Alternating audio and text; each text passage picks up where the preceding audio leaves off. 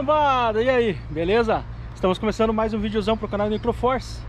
Pra quem não me conhece, meu nome é Júnior E hoje eu vou trazer um vídeo pra vocês. Mano, tem muita gente que vai dizer assim Cara, eu não acredito que você tá fazendo um vídeo desse aí. Cara, mas eu vou falar pra vocês que em 2023 tem muita gente que bate cabeça ainda E sofre pra fazer troca de pneu. É, inclusive eu, eu vivenciei isso aí essa semana Então me deu esse, essa ideia de fazer um videozão aí Pra dar uma força pra quem tem dificuldade com esses carros que hoje em dia tem parafuso diferente, tem vários esqueminhas ali para você poder soltar uma roda, soltar um pneu, que muita gente bate a cabeça e na hora do desespero, que às vezes você apura, tá sozinho, não sabe como fazer, beleza?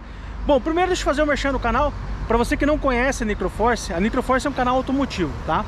Nós temos três vídeos na semana, terça, quinta e sábado, uma hora da tarde, e os outros dias, às 18 horas, todos os dias tem vídeos shorts, tá?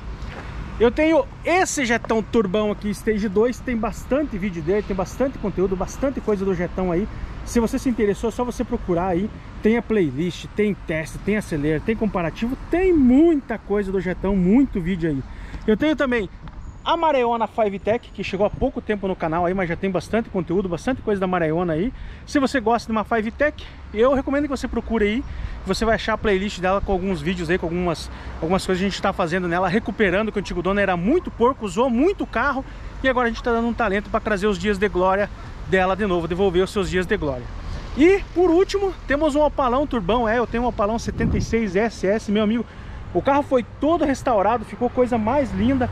A gente tá montando ele seis cilindros, turbão injetado, então vai... Cara, já tem a playlist, mesmo se o carro tá andando, com bastante conteúdo, bastante vídeo, eu recomendo que você procure aí, tá? E, e se inscreva no canal, né, mano? Deixa teu like aí, cara, o like é muito importante para fortalecer. Se você for se inscrever, mano, se inscreve e você pega e ativa as notificações, todas as notificações, ativa o sininho com todas as notificações pra você não perder nenhum conteúdo. Ah, gostei da maré, gostei do Jetta, gostei do Opala, mas você tem que ativar todas as notificações, senão não adianta porra nenhuma. Você não vai conseguir é, ser, você não vai ser notificado. Para quem é inscrito com todas as notificações, o YouTube quase não, não notifica. Imagine se você não ativar as notificações, você não vai receber merda nenhuma, não vai receber nada e vai perder o conteúdo que você gostaria de ver no canal. Beleza? Isto posto, meu nobre, eu vou mostrar para vocês aí umas dicas do que fazer e como fazer, né? Porque a galera bate muito cabeça com esse tipo de coisa aí, beleza? Bora lá então. Então, acabado, continuando, agora eu já soltei isso aqui, tá? O step do Jetta ele fica ali embaixo. Isso aqui é o seguinte, é para toda a linha Volkswagen, tá? É, não sei a partir de que ano que começou a ser dessa forma. Esse aqui é um, é um Volkswagen Jetta, para quem não sabe. E é um carro 2012, mas eu acredito que independe do ano aí da, da linha Volkswagen, sei lá, acho de 2000 para cá, 2005, não sei. Já ficou tudo padronizado, tudo igual. Se seu carro é de outra marca, Chevrolet, Toyota, enfim, não, não sei. É, eu acredito que seja igual, tá? Não seja diferente disso aqui não. O negócio é o seguinte, o que que acontece? Muita gente bate a cabeça com essas peças aqui, ó. Isso aqui e isso aqui. vou explicar pra vocês o que que é. O negócio é o seguinte, aqui ó, isso aqui é uma capinha, tá? Não é o parafuso. Essa pecinha aqui é para você tirar a capinha. Saiu fácil. Tá vendo? Já ficou parafuso. O que que acontece? Por que que serve essa peça aqui e que você vai usar? Pode ver que esse parafuso aqui é diferente, ó. E ele é diferente de todos os outros. Esses aqui são é, parafusos padrão, tá vendo? Deixa eu mostrar pra vocês aqui, ó. ó. Parafuso padrão, tá vendo? Todos os outros são padrões. Esse aqui é diferente. Isso aqui foi feito para não roubarem a roda. Entendeu? Para não roubar a roda. Você vai encaixar ele bem certinho aqui. Pronto e vai afrouxar os pneus, os parafusos. O que acontece é o seguinte, vou dar uma dica. Primeiro que você tem que fazer a troca de pneu do seu carro num lugar plano, tá? Aqui eu acabei pegando uma subida, mas se eu fosse fazer a troca de pneu, eu faria lá em cima que é plano. Você não, eu fiquei aqui por causa da sombra, né, mano? Você não pode fazer isso numa descida, numa subida, enfim, porque o carro pode correr, tá? Vai trocar o pneu dianteiro, freio de mão muito bem puxado. Vai trocar o pneu traseiro, marcha engatada, claro, fez uma puxada, marcha engatada, se for automático já vai estar travado no P, beleza?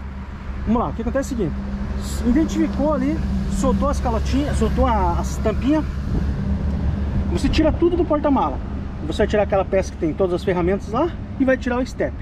Primeira dica que eu vou dar é o seguinte, quando você for montar o macaco, é, o macaco ele tem aqui, ó,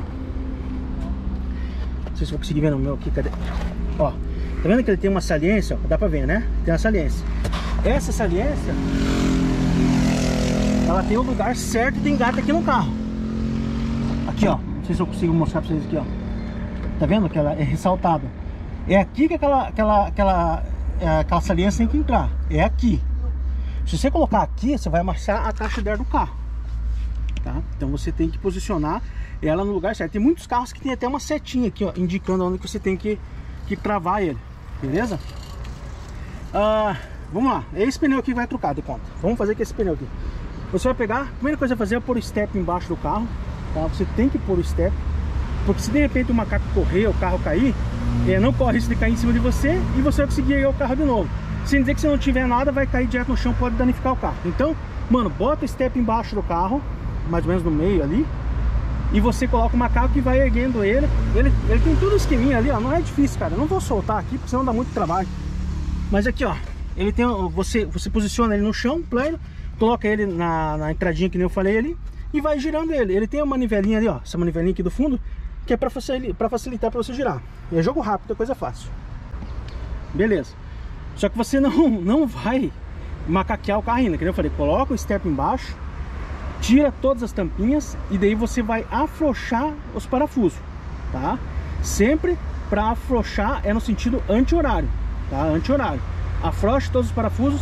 Aquele parafuso que é diferente, você encaixa aquela pecinha que eu mostrei para vocês ali, trava ela no, na, na chave de roda e vai soltando. Soltou, tá com os parafusos tudo solto, você não vai tirar a roda. Só que você não precisa deixar totalmente frouxo, você só afrouxa ele bem que que ele saia na mão depois. Mas não totalmente. Aí você vai colocar o um macaco e vai começar a macaquear o carro. Você vai erguer ele o suficiente para você tirar a roda. Você não vai erguer o carro para deixar ele de lado, tá? Você só ergue o suficiente para tirar o pneu furado. Tirou, você tirou o pneu furado, você pega o step, antes mesmo de pôr o step, você já põe o pneu furado embaixo do carro de novo. Aí você vai posicionar o step ali, você vai precisar das duas mãos, depende às vezes até um apoio da, da perna, para você encaixar certo e coloca um parafuso. Coloca um, coloca outro, coloca todos, mas não, não vai dar aperto, só vai dar aquela travadinha com a mão assim o suficiente.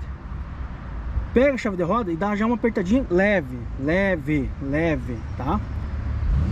Terminou isso, começa a baixar o carro, tá? Claro, vai ter que tirar o step do carro, tira o step, começa a baixar o carro.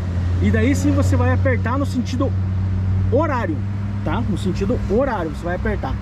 Se você não tem muita força, encaixe bem a manivela e faça com o pé, tá? Faça com o pé para você poder travar ele. Você tem, não precisa arrochar, mas você tem que apertar bem a parada, mano, porque pneu não, dá para brincar, tá ligado?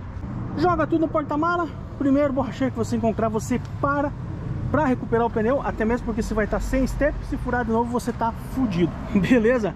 Isso é uma dica aí não tem como ser mais rápido o vídeo, mas é para quem é, não é acostumado a fazer esse tipo de coisa, nunca fez, mas em algum momento da vida você vai precisar fazer essa merda aí, beleza? Valeu para quem veio até aqui, né? Não se esquece de se inscrever aí, deixar teu like e acompanhar essa caminhada maluca nossa. Valeu, um forte abraço!